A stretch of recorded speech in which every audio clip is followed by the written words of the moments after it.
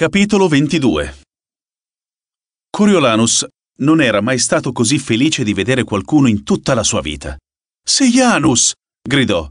Si buttò giù dalla branda, atterrò un po' barcollante sul pavimento di cemento verniciato e gettò le braccia al collo del nuovo arrivato. Seianus ricambiò l'abbraccio. Certo che è un benvenuto caloroso da riservare alla persona che ti ha quasi ucciso. Coriolanus si lasciò sfuggire una risata leggermente isterica e per un attimo valutò quanto fosse corretta quell'affermazione. Era vero.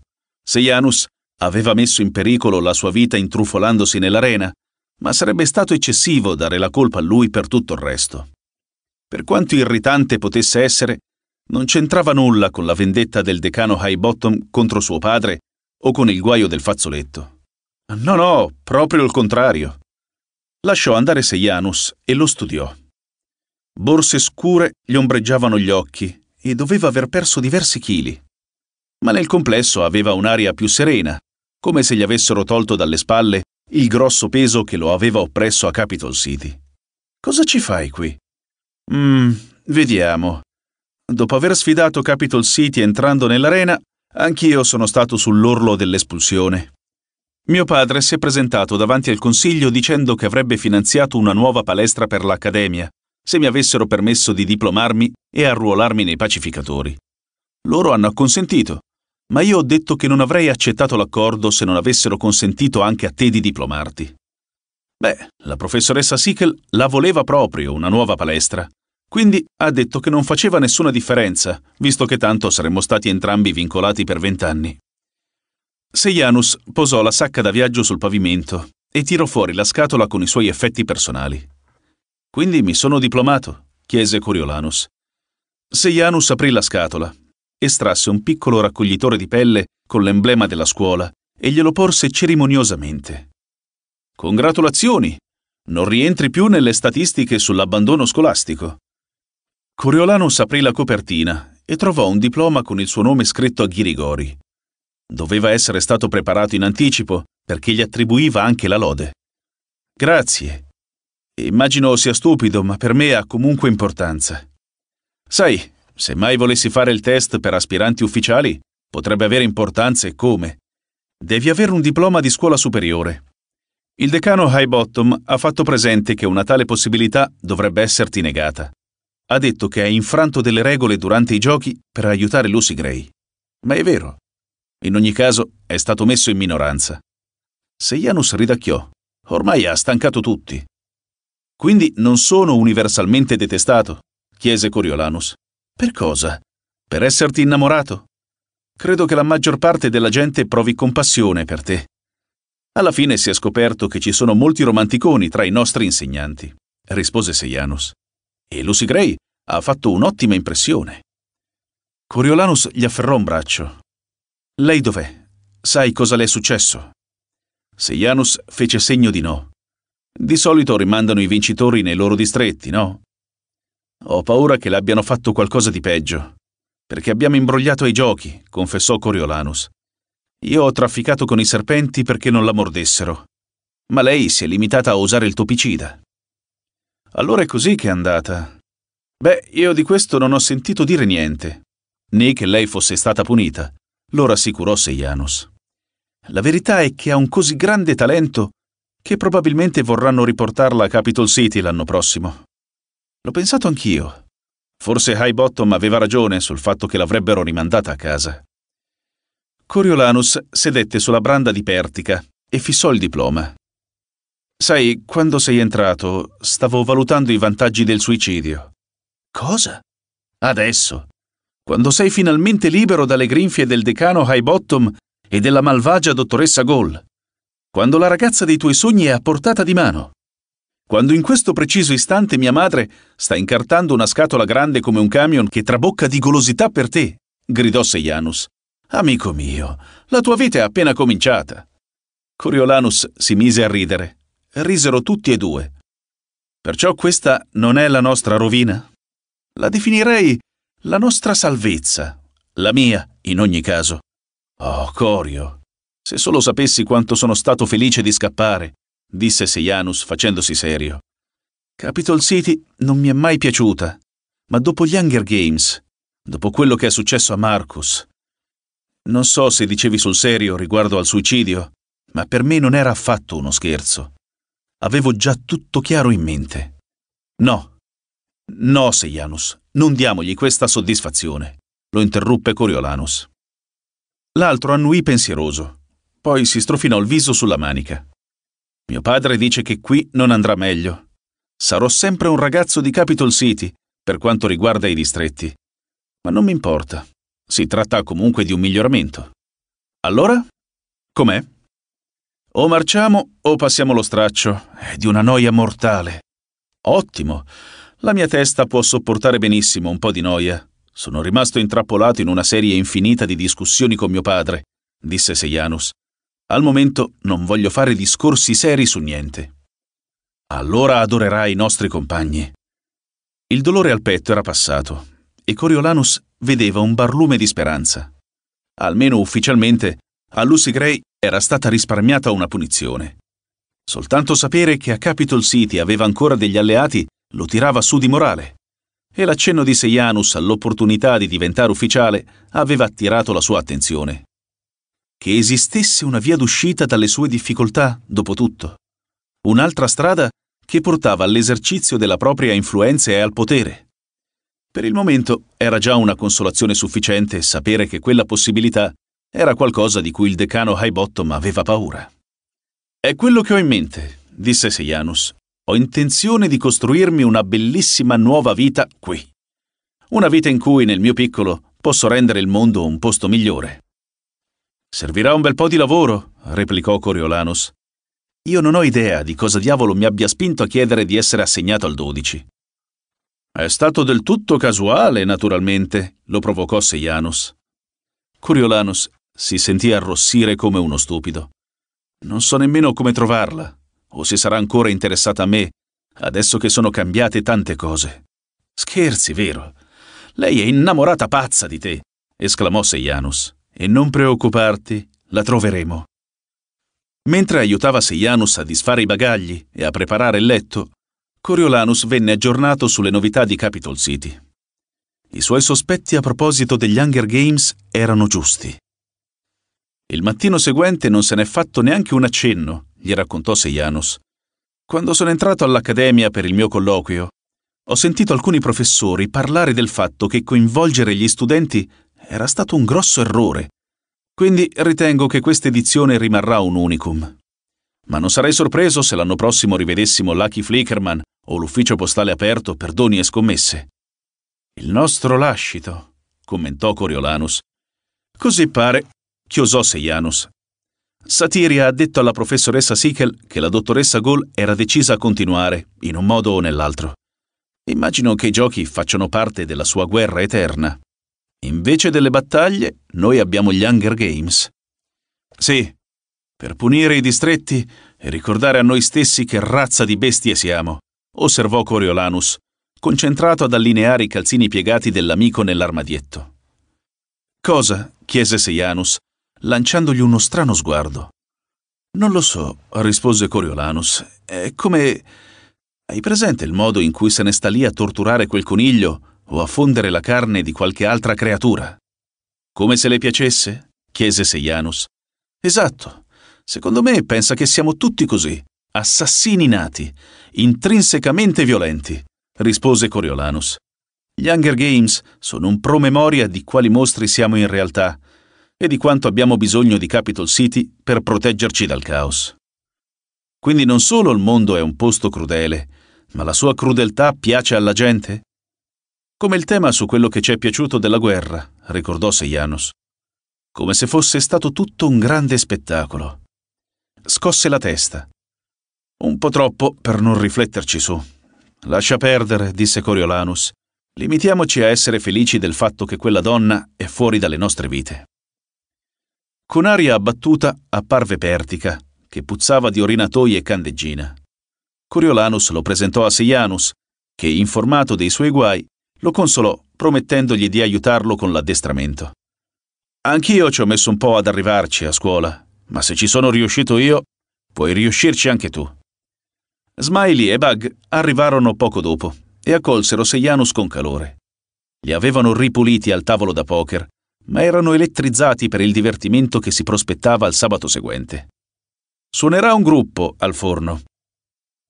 Coriolanus quasi gli saltò addosso. Un gruppo? Come si chiama? Smiley si strinse nelle spalle. Non me lo ricordo, però ci sarà una ragazza che canta. Dicono che sia piuttosto brava. Lucy qualcosa. Lucy qualcosa. Il cuore di Coriolanus fece un balzo e un sorriso a 32 denti per poco non gli spaccò in due la faccia. Seianus gli sorrise di rimando. Sul serio? Beh, questo è un avvenimento da aspettare con ansia. Dopo che le luci vennero spente, Coriolanus rimase sdraiato, con un radioso sorriso rivolto al soffitto. Lucy Gray non solo era viva, ma si trovava nel 12 e il fine settimana successivo si sarebbe riunito a lei. La sua ragazza, il suo amore, la sua Lucy Gray. In qualche modo erano sopravvissuti al decano, alla dottoressa e ai giochi. Dopo quelle settimane di paura, desiderio e incertezza, l'avrebbe stretta tra le braccia e non l'avrebbe più lasciata andare. Non era per quello che era venuto nel 12. Ma non erano le sole notizie su di lei. Per quanto assurdo fosse, l'apparizione di quello stesso Seianus che lo assaliva da anni aveva contribuito a riportare in vita anche lui. Non solo con il diploma e i dolci promessi, o con le rassicurazioni sul fatto che Capitol City non lo disprezzava, o con la speranza di una carriera da ufficiale. No, Coriolanus era sollevato perché aveva qualcuno con cui parlare che conosceva il suo mondo e, cosa più importante, il suo vero valore in quel mondo. Lo rincuorava sapere che Strabo Plint aveva permesso a Seianus di insistere perché il suo diploma rientrasse nell'accordo per la palestra e lo considerava almeno una parziale ricompensa per avergli salvato la vita. Il vecchio Plint non lo aveva dimenticato, ne era sicuro, e magari in futuro sarebbe stato disposto a usare la sua ricchezza e il suo potere per aiutarlo. E poi, certo, ma lo adorava. Forse la situazione non era poi così disperata. Con Seianus, più qualche altro ritardatario dei distretti, avevano abbastanza reclute per formare una squadra completa di 20 effettivi e come tali cominciarono ad addestrarsi. Non c'era niente da dire, il programma dell'Accademia aveva dato a Coriolanus e Seianus un netto vantaggio in termini di forma fisica e allenamento, anche se non avevano mai partecipato a corsi sulle armi da fuoco come invece facevano ora. Il fucile standard del pacificatore era uno strumento formidabile, capace di sparare cento colpi prima di dover essere ricaricato. Per cominciare, gli allievi si concentrarono sulle diverse parti dell'arma mentre pulivano, smontavano e rimontavano i fucili fino a essere in grado di farlo anche nel sonno. Il primo giorno in cui si erano esercitati nel tiro al bersaglio, Coriolanus aveva provato un po' di diffidenza, tanto brutti erano i suoi ricordi della guerra, ma aveva scoperto che possedere un'arma lo faceva sentire più sicuro, più forte. Seianus si rivelò un tiratore nato e ben presto si guadagnò il soprannome di Cecchino. Il nomignolo lo metteva a disagio, Coriolanus se ne rendeva conto, ma l'amico lo accettò comunque. Il lunedì successivo all'arrivo di Seianus, il primo agosto, riportò delusione tra le reclute. Scoprirono infatti di dover essere in servizio da un mese intero per poter riscuotere il loro primo salario. Smiley era particolarmente giù perché contava con quello di pagarsi i bagordi del weekend. Anche Coriolanus si sentì stringere il cuore. Come poteva sperare di vedere Lucy Gray senza i soldi per il biglietto? Dopo tre giorni pieni di solo addestramento, il giovedì portò una nota positiva. Arrivarono i pacchi di Ma, che scoppiavano di dolci prelibatezze. Le facce di Pertica, Smiley e Bug, che assistevano allo spacchettamento di tortini alle ciliegie, popcorn caramellati e biscotti al cioccolato con la glassa, erano uno spettacolo. Seianus e Coriolanus decretarono che i dolci erano un bene comune della camerata, cementando ancor di più la fratellanza con i commilitoni.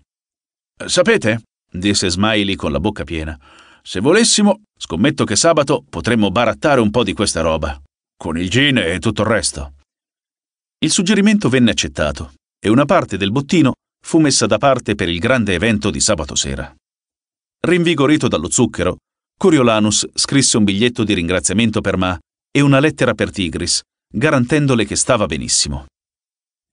Cercò di ironizzare sulla routine estenuante e di mettere in evidenza la prospettiva di diventare ufficiale.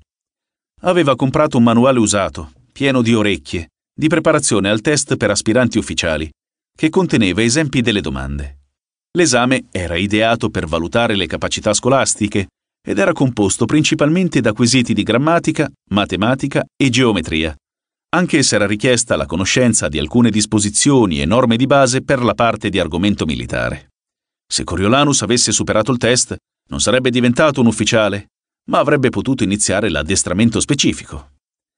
Aveva un buon presentimento sulle sue possibilità, se non altro perché molte altre reclute erano quasi analfabete.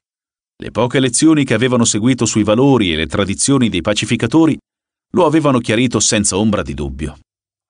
Comunicò a Tigris la dolente notizia riguardo alla sua paga, ma le assicurò che il denaro sarebbe arrivato a partire dal primo settembre, puntuale come un orologio. Mentre con la lingua si toglieva residui di popcorn dai denti, si ricordò di informare la cugina dell'arrivo di Seianus e le consigliò, in caso di emergenza, di rivolgersi a Maplint. Venerdì mattina l'atmosfera della sala mensa era molto tesa e Smiley tirò fuori la storia che gli aveva raccontato un'infermiera conosciuta in ambulatorio. Circa un mese prima, più o meno nel periodo della mietitura, un pacificatore e due capi del distretto 12 erano rimasti uccisi da un'esplosione in miniera. L'indagine sul crimine aveva condotto all'arresto di un uomo i cui familiari erano stati noti leader ribelli durante la guerra. Dovevano impiccarlo quel pomeriggio per l'occasione le miniere sospendevano l'attività e gli operai erano tenuti a presenziare all'esecuzione. Coriolanus non vedeva come quella faccenda potesse riguardarlo, da novellino qual era, perciò seguì il suo solito programma. Ma durante le esercitazioni, il comandante della base, un vecchio caprone di nome Hoff, passò di lì e rimase a guardare le reclute per un po'. Prima di andarsene scambiò qualche parola con il sergente istruttore, che subito chiamò Coriolanus e Seianus. Voi due, oggi pomeriggio, andrete all'impiccagione. Il comandante vuole più uomini per impressionare la gente e cerca reclute in grado di cavarsela. Presentatevi per il trasporto a mezzogiorno in uniforme, seguite gli ordini e andrà tutto bene. Coriolanus e Seianus saltarono il pranzo e si affrettarono a tornare in camerata per cambiarsi. Quindi l'obiettivo dell'assassino era solo il pacificatore, chiese Coriolanus mentre indossava la sua nuova uniforme bianca per la prima volta. Ho sentito dire che stava tentando di sabotare la produzione di carbone e ha ucciso quei tre accidentalmente, rispose Seianus. Sabotare la produzione? E a che scopo? chiese ancora Coriolanus. Non lo so. Nella speranza di far ricominciare la ribellione? Coriolanus si limitò a scuotere la testa. Perché quella gente credeva che bastasse alimentare la rabbia per dar vita a una rivolta? Non avevano esercito, armi o leader. All'Accademia avevano imparato che l'ultima guerra era stata scatenata dai ribelli del distretto 13, i quali erano riusciti ad accedere ad armi e informazioni e a diffonderle tra i loro seguaci in tutto Panem. Ma il 13 era svanito in una nuvola di fumo nucleare insieme alla fortuna degli Snow. Non era rimasto più niente e qualsiasi idea di sollevare una nuova ribellione era pura stupidità. Quando si presentarono in servizio, Coriolanus rimase sorpreso che gli venisse assegnato un fucile, dal momento che il suo addestramento era ancora limitato, a dir poco. Non preoccuparti, il maggiore ha detto che tutto quello che dobbiamo fare è stare sull'attenti, gli disse un'altra recluta. Furono fatti salire sul retro di un camion che lasciò la caserma e si avviò lungo una strada che girava tutto intorno al distretto 12. Coriolanus si sentiva nervoso, dal momento che quello era il suo primo vero incarico come pacificatore, ma in fondo anche un po' emozionato. Qualche settimana prima era solo uno studente, ma ora portava un uniforme, un'arma, insomma, era un uomo. E la relazione con Capital City proiettava potere anche sul più basso in grado dei pacificatori. Al solo pensiero si mise seduto più eretto. A mano a mano che il camion percorreva il perimetro del distretto, le costruzioni passarono da anonime a squallide. Le porte e le finestre delle case cadenti erano spalancate nella calura. Donne dai volti inespressivi sedevano sulla soglia, tenendo d'occhio bambini seminudi con le costole sporgenti che giocavano svogliati in mezzo alla sporcizia. Le pompe di alcuni giardini testimoniavano la mancanza di acqua corrente e i cavi cascanti dell'alta tensione suggerivano che l'elettricità fosse tutt'altro che garantita. Coriolanus fu spaventato da quel grado di miseria. Lui era stato in ristrettezze per praticamente tutta la sua vita, ma gli Snow si erano sempre impegnati al massimo per mantenere il decoro. Quella gente, invece, si era arresa e una parte di lui le attribuiva la colpa della situazione in cui si trovava. Scosse la testa. Eppure pompiamo un sacco di soldi nei distretti, disse. Doveva essere così per forza. Gli abitanti di Capital City se ne lamentavano in continuazione. Il denaro lo pompiamo nelle nostre industrie, non nei distretti, replicò Seianus. La gente è sola. Il camion si allontanò rumorosamente dalla cenere e imboccò una strada non asfaltata che curvava intorno a un grande campo di terra battuta ed erbacce, finendo davanti a un bosco. Capitol City aveva piccole zone boschive in alcuni parchi, ma sempre curatissime. Coriolanus immaginò che quello invece fosse ciò che si intendeva per foresta, o anche per natura selvaggia. Folti alberi, rampicanti e sottobosco crescevano in tutte le direzioni. Era un disordine che lo infastidiva. E chi sapeva che genere di creature lo abitavano? Il miscuglio di ronzii, sussurri e frusci lo innervosiva. E che baccano facevano gli uccelli! Un grande albero si innalzava sul limitare del bosco, i rami che si allargavano come grosse braccia nodose. Da uno di essi, che sporgeva in orizzontale, pendeva un cappio. Appena sotto era stata eretta una rudimentale piattaforma con due botole. Continuano a prometterci una forca adeguata, disse il maggiore al comando, un uomo di mezza età. Nel frattempo alcuni di noi hanno improvvisato questa. Una volta li appendevamo semplicemente i sandoli da terra, ma poi ci mettevano una vita a morire, e chi ha il tempo di stargli dietro? Una delle reclute femminili che Coriolanus riconobbe dal giorno della scarpinata fino alla base alzò timidamente una mano. Chi impicchiamo? Oh, Qualche scontento che ha provato a far chiudere le miniere, rispose il maggiore. Sono tutti scontenti, ma questo è il capobanda. Si chiama Arlo qualcosa. Ce ne sono altri cui stiamo ancora dando la caccia, anche se non so dove pensino di scappare. Non esiste un posto dove scappare. D'accordo? Tutti giù. Il ruolo di Coriolanus e Seianus era soprattutto ornamentale rimasero a riposo nell'ultima fila di una delle due squadre da 20 che fiancheggiavano la piattaforma. Altri 60 pacificatori erano distribuiti lungo il bordo del campo. A Coriolanus non piaceva dare le spalle a tutta quella fauna e a tutta quella flora incolta, ma gli ordini erano ordini. Teneva lo sguardo fisso in avanti, oltre il campo e verso il distretto, dal quale cominciava a uscire un flusso regolare di uomini. A giudicare dalle facce annerite dalla polvere di carbone, Molti arrivavano direttamente dalle miniere. A questi si unirono donne e bambini appena più puliti e insieme le diverse famiglie si radunarono nel campo. Coriolanus cominciò a sentirsi inquieto quando le persone già presenti in gran numero divennero centinaia e altre ancora ne arrivarono, spingendo avanti la folla in modo inquietante. Tre veicoli percorsero adagio la strada sterrata verso la forca.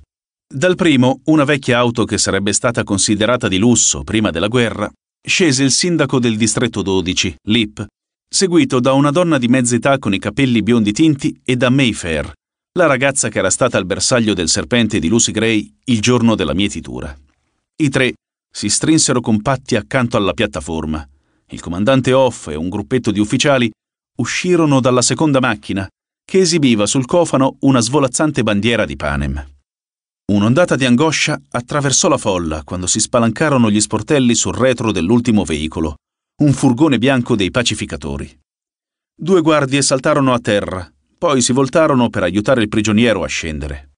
Pesantemente incatenato, l'uomo alto e snello riuscì a rimanere in piedi mentre lo scortavano fino alla piattaforma. Trascinò a fatica le catene su per gli scalini traballanti e le guardie lo fecero fermare in corrispondenza di una delle due botole. Il maggiore sbraitò l'ordine di mettersi sull'attenti e Coriolanus scattò in posizione. Tecnicamente il suo sguardo avrebbe dovuto essere rivolto in avanti, ma con la coda dell'occhio riusciva a vedere cosa succedeva e in ultima fila si sentiva abbastanza nascosto. Non aveva mai assistito a un'esecuzione dal vivo, le aveva sempre seguite solo in tv e per qualche motivo non riusciva a distogliere lo sguardo. La folla si zittì e un pacificatore lesse ad alta voce l'elenco dei crimini dei quali il condannato, Arlo Chance, era stato giudicato colpevole, tra cui l'uccisione di tre uomini. Per quanto il soldato tentasse di farsi sentire, la sua voce suonava fiacca nell'aria calda e umida. Quando terminò, il comandante fece un cenno ai pacificatori sulla piattaforma. Offrirono al condannato una benda che lui rifiutò, dopodiché gli misero il cappio intorno al collo. L'uomo rimase impassibile a fissare il vuoto, in attesa della sua fine. Dalla parte opposta della piattaforma partì un rullo di tamburi che suscitò un grido nelle prime file di spettatori. Coriolanus spostò lo sguardo per individuarne l'origine. Una giovane donna dalla pelle olivastra e dai lunghi capelli neri si sollevò al di sopra della folla mentre un uomo cercava di portarla via, ma la poveretta lottava disperatamente per slanciarsi in avanti, urlando Arlo! Arlo! I pacificatori la stavano già accerchiando. La voce ebbe l'effetto di una scossa elettrica su Arlo, il cui viso mostrò prima sorpresa, poi orrore. Scappa! gridò. Scappa, Lil! Scappa! Scappa!